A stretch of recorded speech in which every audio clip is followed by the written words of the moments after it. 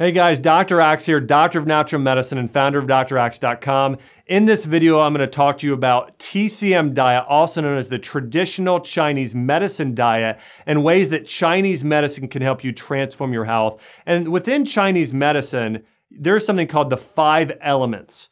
And five elements, uh, this also stems from something called five elements acupuncture. But I'll tell you, by learning these principles, it's going to help you really know your own body. And I think this is what everybody wants. Everybody wants to know a custom and personalized plan for them. And so I'm going to teach you in this video what type you might be so you know the exact steps you need to take to heal your body completely using TCM, that's traditional Chinese medicine. And traditional Chinese medicine has been used over 4,000 years. And I believe today it's the most accurate way of diagnosing and treating illness, much more uh, accurate than our conventional medical uh, Western system today. So there are five elements of Chinese medicine that relate to the earth and the way our organ system works, or our five organ systems. Let's talk about the first element. That's the wood element in Chinese medicine. That has to do with springtime. Also, that's related to green foods.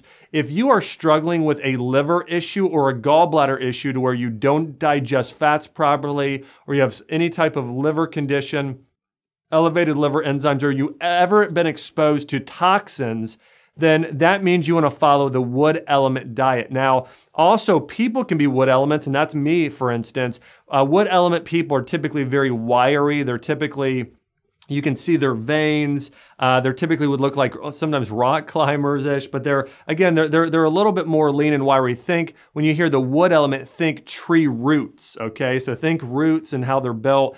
That's a wood element. And those people tend to be more susceptible to liver and gallbladder issues and not digesting fats properly. And the emotion they experience is frustration and sometimes anger. So think angry drunk. If you have an angry drunk, what does that affect? It affects their liver and vice versa. If somebody has liver problems, they can burst out in anger. So, again, that's the wood element in Chinese medicine. If you are having liver issues or gallbladder issues at all, gallstones, gallbladder removed, any sort of anger, frustration issues, you want to start nourishing those organs. And this is the big difference in Chinese medicine. In Western medicine today, we try and treat a disease, treat an illness. In Chinese medicine, they look to nourish an organ to help the body heal. And the foods that are most nourishing and healing to the liver and gallbladder are going to be foods that are sour.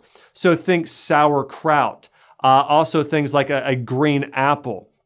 Also, foods that are slightly bitter, but foods that are mostly sour and slightly bitter are the most nourishing. So again, foods are gonna, and foods that are very green. Okay, so wood element, think trees, think green, think grass. So vegetables like fresh salads and spinach, veggie juices, herbs like milk thistle and dandelion.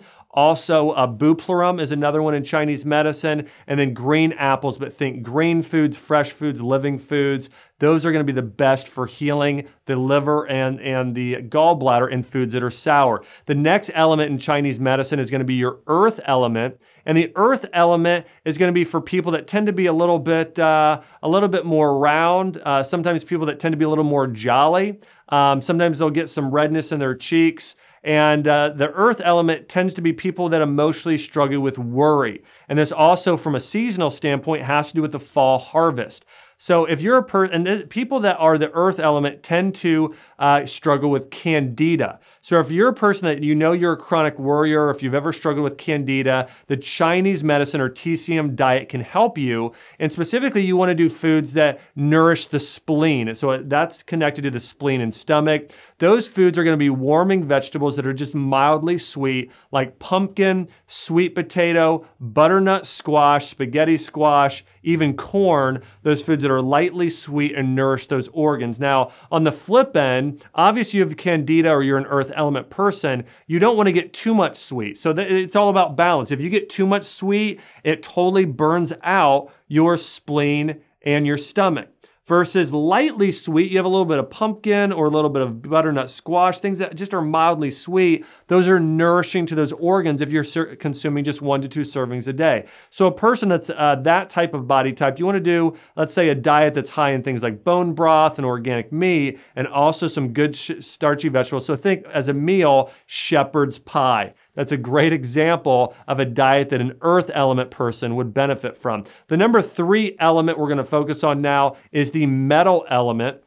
And the metal element are typically people that have big, strong, bold features. If you think of a, a big, muscular linebacker, uh, somebody that's sort of chiseled and built like stone, that's a metal element in Chinese medicine. That's their typical build. And those people tend to struggle emotionally with, with grief and sadness, sometimes depression. Those would be those negative emotions they experience uh, that can affect specifically the lung and the colons. And the metal element has to do with your immune system.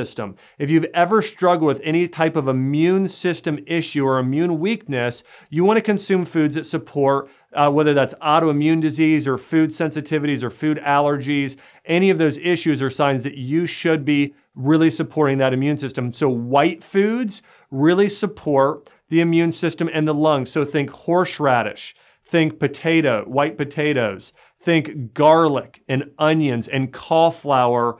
Uh, all of those foods are very nourishing to a metal element. So, again, getting a lot of those immune foods like garlic and onions, um, cauliflower. Those things are very nourishing. And then also probiotic rich foods like yogurt and kefir are great for those. And raw cheeses, like a raw sheep's cheese, those are really nourishing to the metal element. The number four element we've got to take care of is going to be your water element. And the water element is really related to the health of your kidneys and your adrenal glands, which can sometimes even go and affect the thyroid. But the adrenal glands and kidneys specifically. So if you ever struggle with any type of infection, any type of fatigue or low energy levels or adrenal fatigue issues or chronic fatigue, those are warning signs that you need to nourish those organs. Also, any hormone imbalance. If you're a person that struggles with uh, early menopause or PCOS or any hormonal issue, you want to follow those and support the water element in Chinese medicine. And the water element tends to struggle with fear.